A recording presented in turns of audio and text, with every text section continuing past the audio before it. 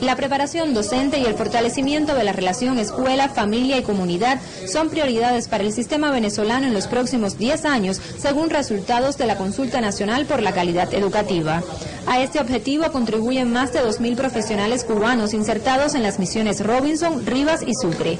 En un encuentro con colaboradores que se integrarán a la asesoría en los procesos formativos, la ministra cubana destacó que la capacitación de los maestros y los directivos es fundamental para lograr una enseñanza pertinente. En este encuentro con estos 143 eh, cubanos que acaban de llegar, nosotros le hemos dado una indicación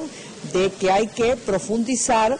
en todas las acciones que se están haciendo, qué acciones tenemos que perfeccionar, qué otras cosas tenemos que incluir qué tenemos que rediseñar de manera tal que el 2015 sea un año decisivo en el cumplimiento de los retos, de las metas que tiene el Ministerio de Educación. La titular del sector informó que en los próximos días La Habana será sede de la Mesa Binacional de Trabajo del Convenio Integral entre ambas naciones, donde se diseñarán estrategias concretas para elevar la calidad del sistema educativo venezolano en el año 2015. Desde Venezuela, Marisol Blanco, Eddie de la Périda y Midias Breijo, Sistema Informativo de la Televisión Cubana.